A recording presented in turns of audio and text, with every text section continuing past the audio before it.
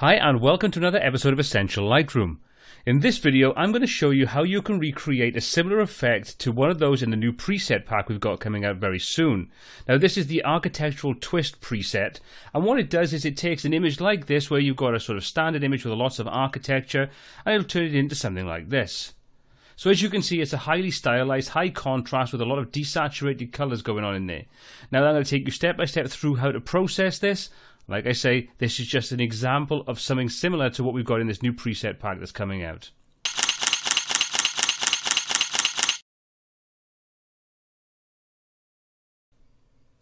So before we kick things off and take a look at how to process this image, I just want to say that we've now got a Patreon channel for Lightroom TV, and if you'd like to have access to exclusive supporters content such as presets, ebooks, and tutorials that are not going to be available anywhere else, then use the link in the description below, pop over there, and even with a basic subscription, you'll still get exclusive freebies that no one else gets access to and don't forget, everybody has access to the free Lightroom presets and resources we have available on the Essential Lightroom and Lightroom TV website. So you don't need to be a Patreon supporter to get access to those, but if you want exclusive additional content, then Patreon is there for you.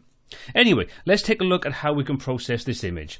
So we've got a pretty high architectural image here. We've got lots of detail in the background. And the first thing I want to do is jump over to the develop module into the basics panel. And from there, we're going to make some basic tweaks to this image. So the first thing we're going to do is get that high contrast effect in there. So we're just going to grab the contrast slider. We're going to bump that over to the right hand side, take it up to about plus 60, somewhere in that region. You can see now we start to get really nice deep blacks in the image, a good contrast in there. Next thing you want to do is just push those highlights. I'm looking for a kind of a blown out look. I don't mind too much if it starts to lose some of the detail. That's the kind of effect that I want. So we're going to take this up to around about that point. That's looking pretty good. Shadow detail, we're going to drag that right the way down. So we want to make sure we've got really nice dark shadows. So we're going to take that to around, around the minus 40 mark. And then we're going to do the same with the whites. We're going to bump those up, same as the highlights, around about the same kind of figure, around the mid 40s. So you can see we're getting a really contrasty look. So if we take a look at before and take a look at after, you can see we've got that real nice contrast in there. So the next thing I want to do is deal with the color information in the image. I want to desaturate the warmer colors. So we're going to jump over to the HSL section just to do that. Now for this effect, we're going to start off by dealing with the saturation and we're going to take the warmer colors and we're going to really reduce those down quite a lot. So we're going to grab the reds to start off with. We're going to drag this down to about minus 35, somewhere around that kind of region to take out the redness in the image. We're going to do the same for the orange. We're going to take that down even further. If you look in the background, you'll start to see those colors really do start to desaturate. So we're going to get those to about minus 60. Same with the yellow, the green, and for this example, the blue and the aqua. So all those are going to go down to about minus 60. So there we go. So we've now desaturated those. The next thing I want to do is deal with the luminance levels. And I want to make some of those colors darker and some of those colors lighter. So what we're going to do is we're going to grab the red slider and we're going to drag that down to about minus 40 somewhere along on that sort of line. And the same with the orange. We're going to take that down to about the same point. So that will then darken those warmer colors down. And then we're going to do is we're going to start to boost the other color. So all of the other colors are going to be taken to plus 60.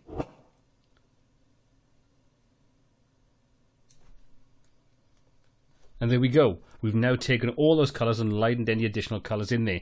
And that pretty much is this preset.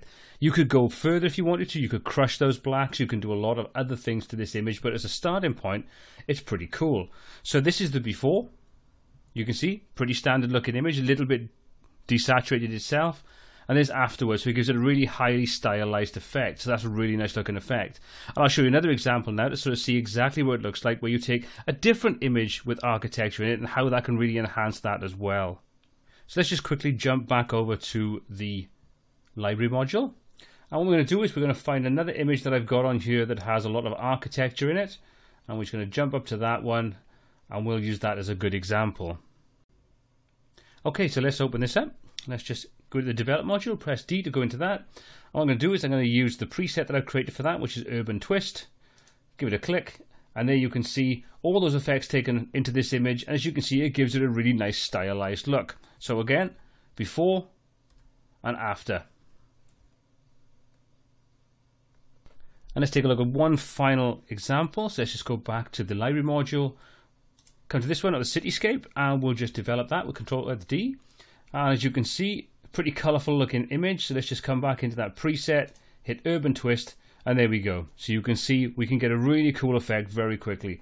And like I said, if we wanted to take this one step further, we can easily come in, go to the tone curve, come to this, add a couple of extra points in there, grab the blacks, crush those down a little bit, Put some of the contrast back in in the mid-tones to get a bit of sort of sharpness in there. And you can see we can very quickly and easily start to tweak and enhance this image based upon that original simple idea. So let's just bump the contrast and the exposure up just a little bit. So there we go. So you can see you can very quickly take that example and just take it way beyond that just with a couple of simple alterations.